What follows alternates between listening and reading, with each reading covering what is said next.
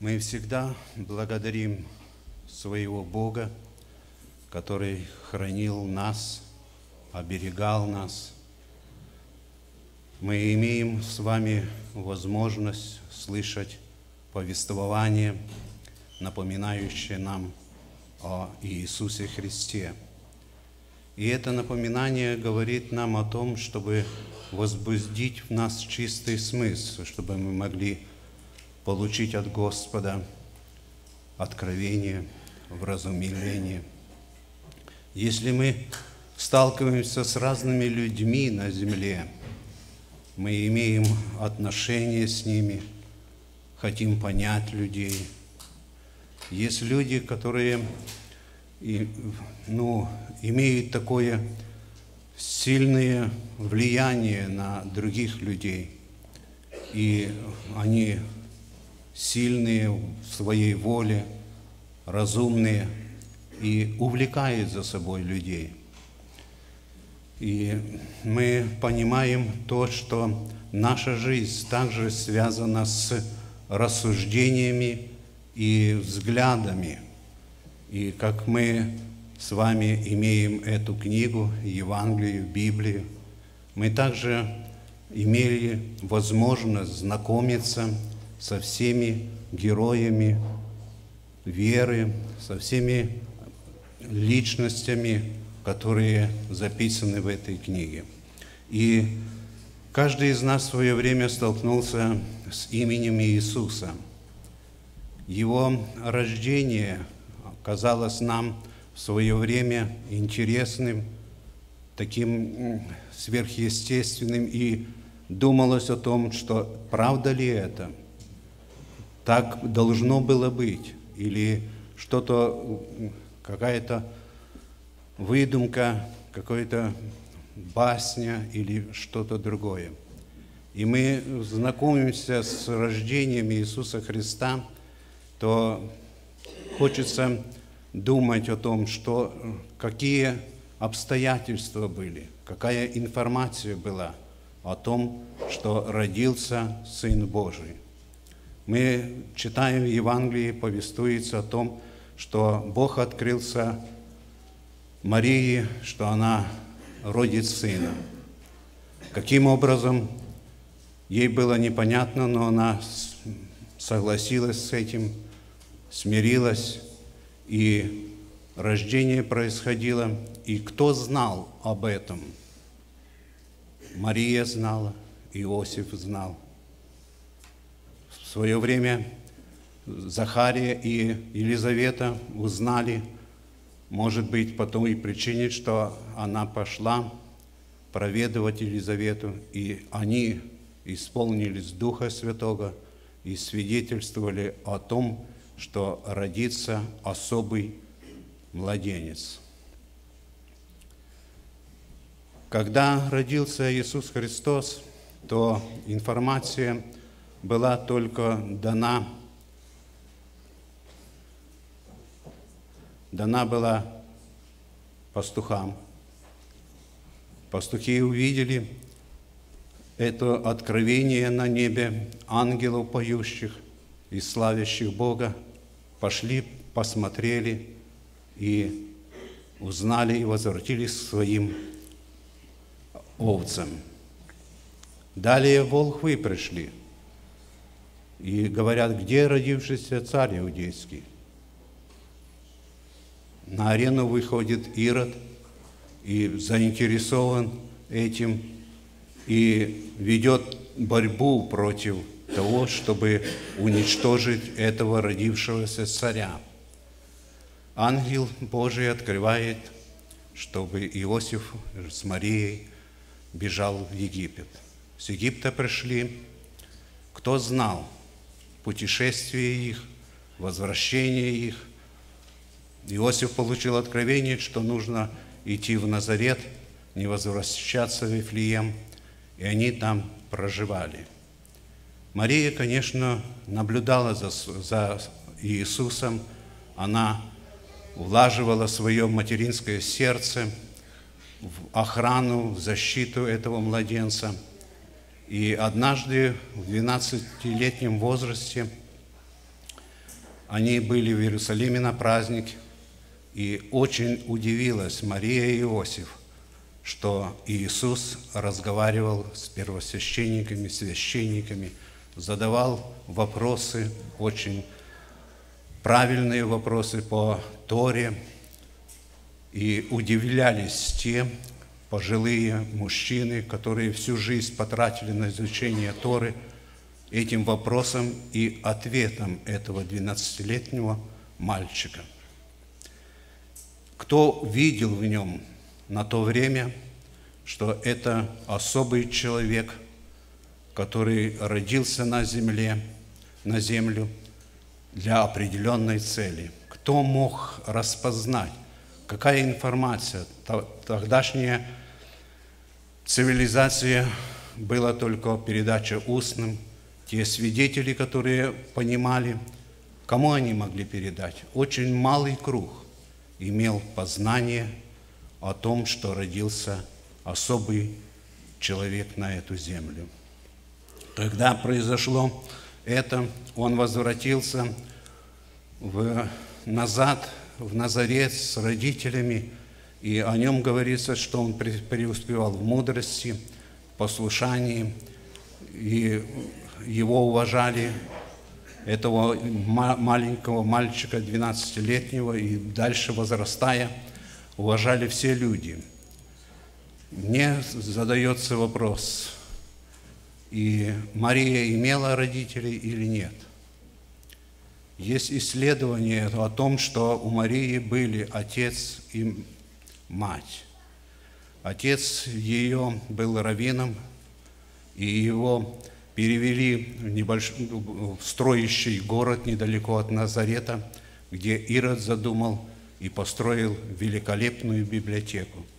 И, несомненно, может быть, этот маленький мальчик ходил к своему дедушке и имел доступ к той библиотеке, которая была очень большая, все свитки, вся, вся документация лежала и была доступна через своего дедушку, и он умственно развивался, человеческий, физический ум развивался до такой степени, что удивление было на, на всем людям, которые встречались, с которыми пересекались эти пути.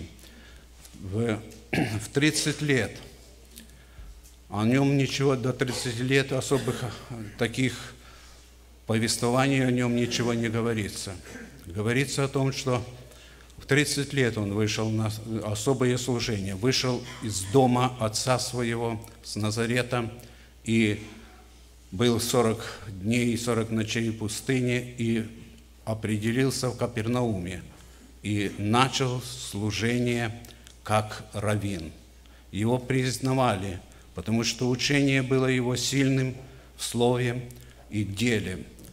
И он учил не так, как книжники и фарисеи, он был сильный в действовании. И люди, к которым он приходил, в основном, в основном простым людям, оказывал внимание – оказывал заботу, исцелял, воскрешал, подымал, давал зрение людям и так далее. Таких много событий было.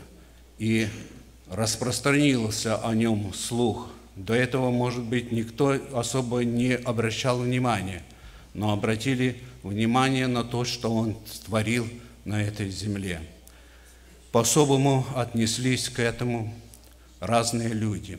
По-особому прислушивались к тем свидетельствам, которые говорили люди, потому что мы знаем, что человек, который получил исцеление, они не молчали, они свидетельствовали, что Иисус из Назарета совершил это чудо. По Его слову я сегодня хожу, я сегодня здоров. Слава нашему Богу. И когда все это происходило, то мы знаем, что ученики появились у него.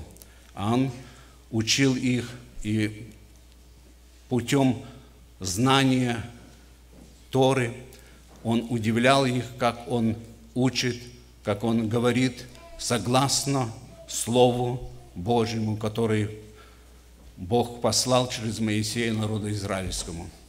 Нет противоречия, противоречия истолкованием раввинов.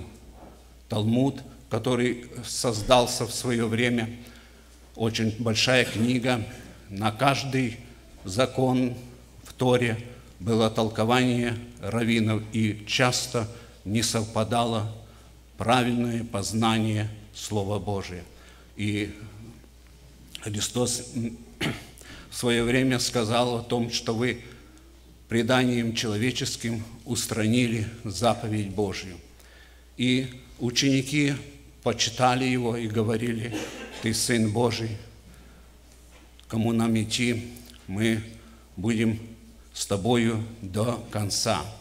Другие люди, особенно книжники и фарисеи, не принимали его, даже говорили о том, что он действует силою князя Бесовского, Вильзевула. И таким образом образовалось то, что вражда со стороны правящей религиозной элиты направила к нему все усилия, чтобы его оклеветать, чтобы его вывести из этого, потому что он приобретает больше людей, внимание обращает на него, и фарисеи и книжники боялись, что люди от них уйдут.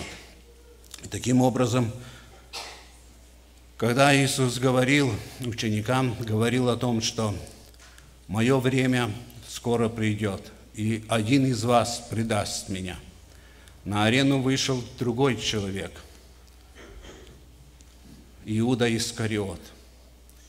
Какие у него были мотивы, но у него появилась идея что-то сделать такое, чтобы предать его в руки первосвященников и священников.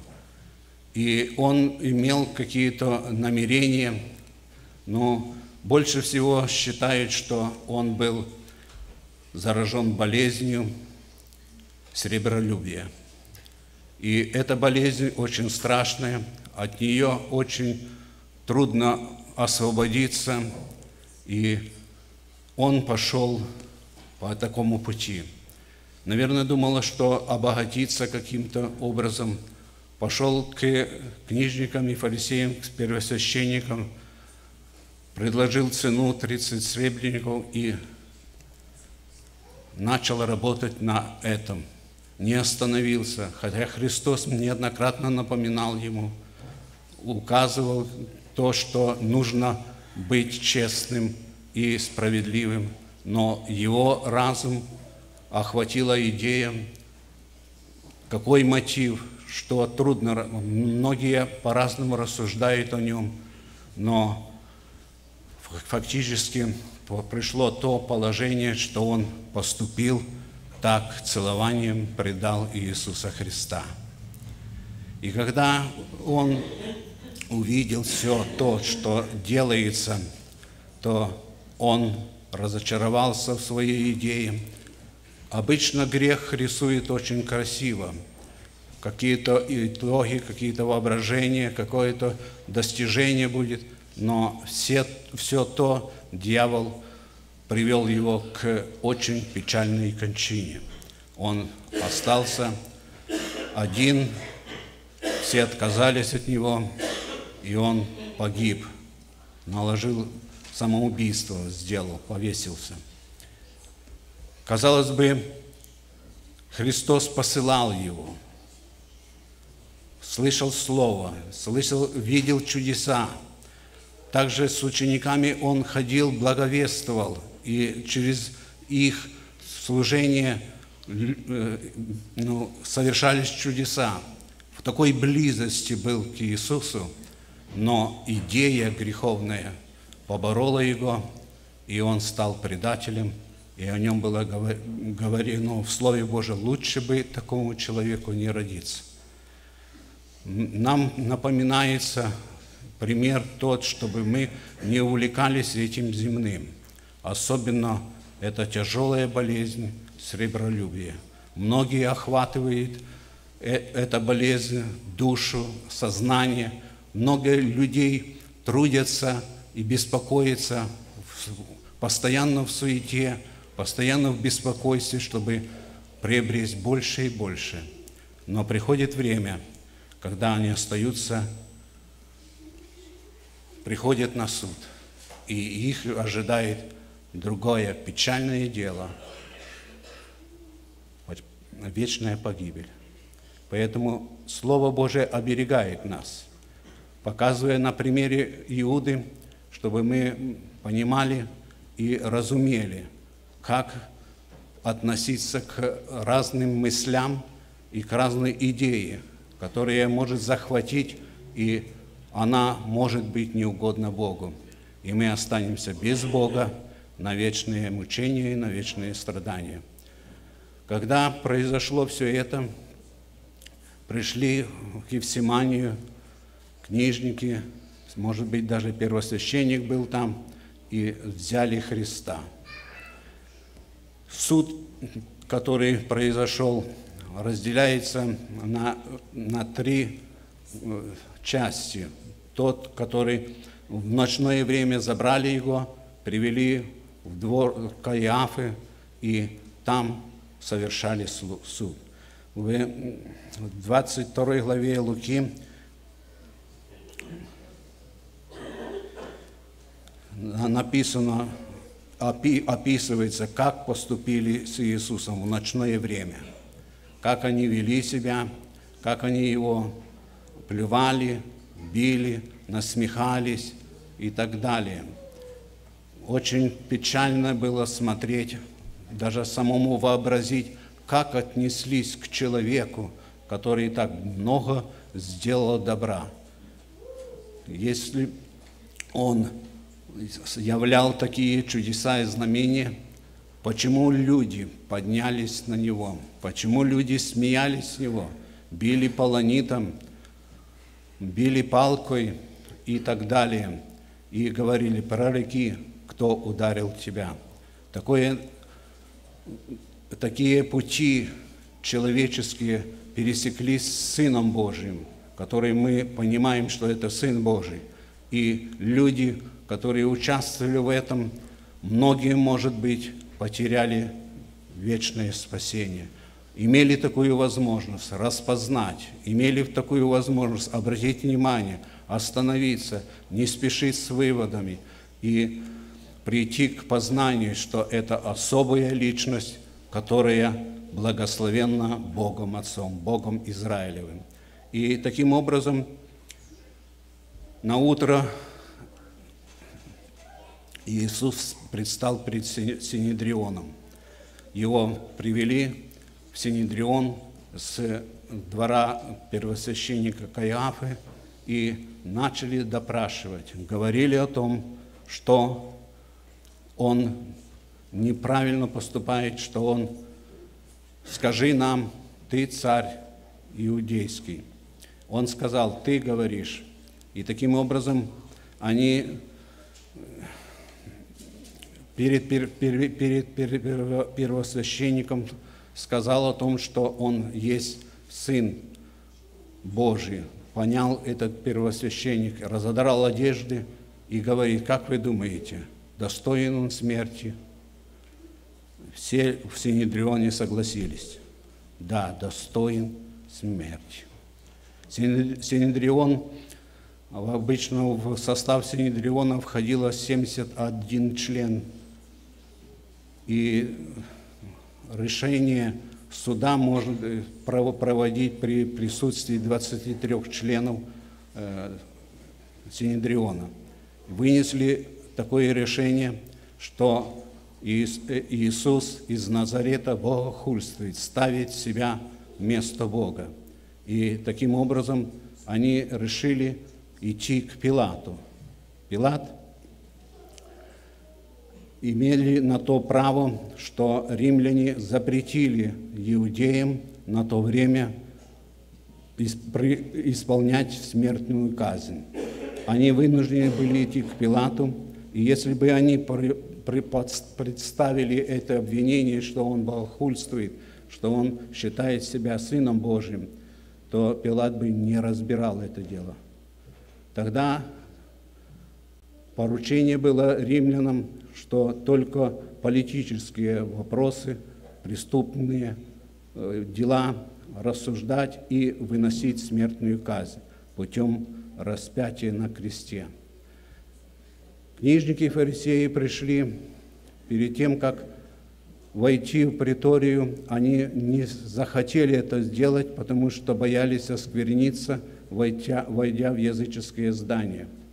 И, казалось бы, то, что они затеяли, они не видели. Такое злое, греховное дело. А вот зайти в приторию, чтобы не оскверниться, и можно было есть вечером Пасху, которую они праздновали. И таким образом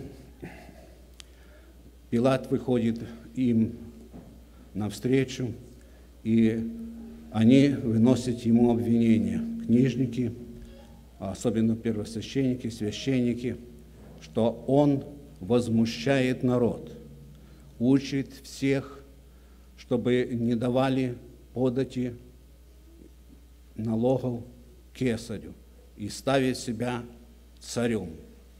Это, конечно, затронуло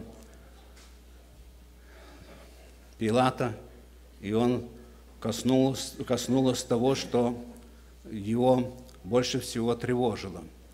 И они оклеветали, сказали ложь, сказали совершенно противоположное. Когда мы читаем и слышим о том, что Он, Иисус, ответил тем людям, которые пришли и сказали, позволительно ли давать кесарю или нет.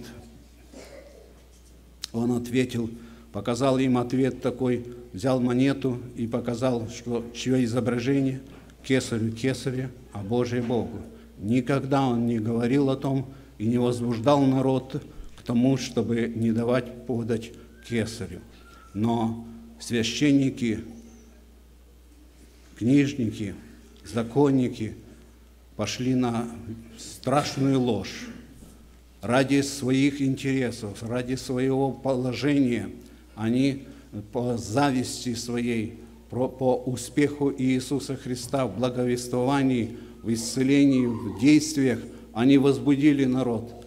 Говорит, говорят о том, что и Пилат принял, поступки его были он сам был такой жестокий человек, горделивый, чистолюбивый, старался держать все в своих руках, и если что касалось лично его, любыми путями, чтобы достигнуть. Обижал, ненавидел евреев, обижал их религиозные верования, и насмехался много. Но с Иисусом Христом почему-то он поступил лояльно – угождая толпе, угождая священникам, потому что в это время в Риме поменялось обстоятельство. Тот покровитель, который назначил его быть прокуратором в Иерусалиме, во всей Иудее, сошел с сцены, а на него, на Понтия Пилата, жаловались народ, жаловался и, и писали ну, сообщение, что он издевается над народом израильским и приступает все полномочия и собирает э, другие подати и не, не, не вел такую честную жизнь. И он, и э, Пилат понял, что что-то в Риме поменяется, и нужно, чтобы не было бунта, он вышел навстречу этим людям, которые требовали смерти Иисуса. И он услышал от жены, что жена в свое время послала ему сказать, когда он сидел на троне судейском, не делай ничего худого этому праведнику. Но он хотел как-то уклониться, но боялся своего положения, что с ним, если опять возникнет бунт, который был неоднократно среди народа израильского в его, в его правлении, он правил 10 лет, и он пошел на уступки и согласился, чтобы Иисуса, бив, мы читаем о том, что его истязали римские воины, крепко били, и проливалась кровь, венок терновый надели на него, кровь был избитый до изнеможения. Потом э, и приказал ему, чтобы его бичевали Иисуса. Мы знакомы несколько моментов, повествуется о том, что бич, который римляне использовали, был несколько кожаных таких лентов, и на концах или свинцовые, или костяные такие привязывались, то когда их били, и били по спине этим бичом, то рваные раны оставались, и кровь из них вытекала. Особо больные были такие раны, и Христос это молча, молча, Он молчал, и Его били, может быть, слышны были только стоны, но Он оставался в своем направлении к той цели, которую Он и имел – в отношении того, что Пилат тоже встречался с Иисусом, его кончина тоже печальная. Его вызвали после десяти лет, вызвали в Рим, и там был какой-то суд над ним, и отослали его в ссылку в южную часть Франции. И свидетельствует некоторые данные, что он покончил жизнь самоубийством – Хотя он имел встречу с Сыном Божьим, но потерял возможность, не обратил внимания, а обращал внимание на свои чистолюбие, на свою карьеру, на, на то, чтобы иметь заработок, деньги, и кончина его пришла к такому печальному концу. Когда его вели на Голгофу. В Писании говорит о том, что они встретили, ну, Иисус и шел и под крестом упал. Упал, он был избит до невозможности, паче всякого человека, обезображен лик его. И когда он упал, то вызвали, на то время был как такой Симон, кириянин. Они заставили его нести крест. Таким образом, Симон Коренилиянин оказался помощником Иисуса, чтобы нести крест на Голгофу. Этот человек жил в, Корени, в городе Коренияне, который находился на, возле западной границы Египта – в Ливане, Ливии, в Ливии. И, по-видимому, есть такое предположение, что он на Пасху, еврей, шел в Иерусалим и как раз пришел на тот момент, когда встретился с такой процедурой. Он шел с поля, и его увидел воин, и заставил его нести крест. Это было для него ужасное зрелище. Он никогда не сталкивался с таким. В этом городе, где он жил, там была иудейская синагога. И во второй главе Деяния апостолов напоминается об этом, что там с оттуда приходили на день Пятидесятницы евреи на этот большой праздник в Иерусалиме, где когда-то в свое время ученики получили крещение Духом Святым, когда сила Духа Святого наполнила учеников. Радостные события, слава Богу.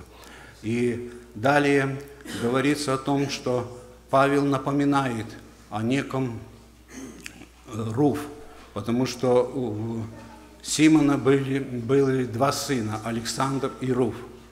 И, по-видимому, этот Симон, посмотря на то, Господь помог ему в таком состоянии, в котором он находился, избитый, помог ему открыть его сердце. Духом Святым коснулся этого сердца. И, по-видимому, этот человек, который, казалось бы, случайно пересеклись пути с Иисусом, он получил спасение всему дому. Жена, дети. И так есть предположение, что он покаялся, признав Иисуса Сыном Божиим, Спасителем и получил прощение грехов. Слава нашему Богу. Поэтому всякие движения, всякие, всякие люди встречались и пересекались с Иисусом Христом. Некоторые получили прощение, некоторые возросли в вере и служили Господу. Но в последний момент, последний момент, когда Он висел на кресте, потому что крестная смерть – это ужасная казнь. Ложили крест на землю, ложили человека, прибивали руки к Христу и привязывали их, потом привязывали руки веревками, поднимали этот крест. Это ужасные страдания. Люди, которые э, переносили эту казнь, они могли жить день, два, три дня. Это мучительная смерть. Люди приходили в такой помрачение, они проклинали всех своих врагов, кричали там, но Иисус молчал. Наоборот, с креста Он говорил, прости им, потому что не знают, что делают. И Он говорил последний момент, который разбойник сознал свою вину. И Господь говорит, ныне со мною будешь в раю. Такова миссия нашего Господа, который родился, который вначале не было такой большой информации, не было такого, чтобы, что родился такой-то, такой-то, как говорят в этом мире, в царей родился сын, и сообщают всей стране. Но там было скрыто, и трудно было уразуметь. Но люди, которые приняли его на свое внимание, что он делами своими подтверждает, что он особый человек, что он является Сыном Божьим. И пришло время, когда он сказал, совершилось. И мы все с вами, и в свое время для меня также совершилось то, что принял Господа Иисуса Христа, имел личную встречу с Ним. Слава Богу!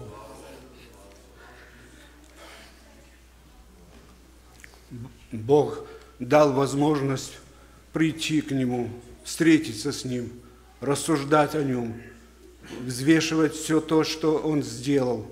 И теперь то, что остается нам всем, кто имел личную встречу с Господом, иметь, дорожить этим, потому что Он совершил нечеловеческий подвиг, в теле человеческом выдержал такие страдания, чтобы нас освободить. Поэтому мы поклонимся нашему Господу. Он достоин того, чтобы нам не пропустить, не забыть о Нем, не забыть о, о Его чудных делах, которые Он делает и продолжает делать, которые делал в нашей жизни. Даже когда мы только стали на то, чтобы рассудить, узнать, кто эта же личность. Он вышел нам встречу, открылся нам, дал свои откровения, и мы уверовали, и имеем сегодня свободу от наших грехов. Он, даже если мы согрешаем, последовав за Господом, кровь Его сильна очищать нас, освобождать и давать нам мир и радость спасения. Поклонимся Ему, поблагодарим Господа. Аминь.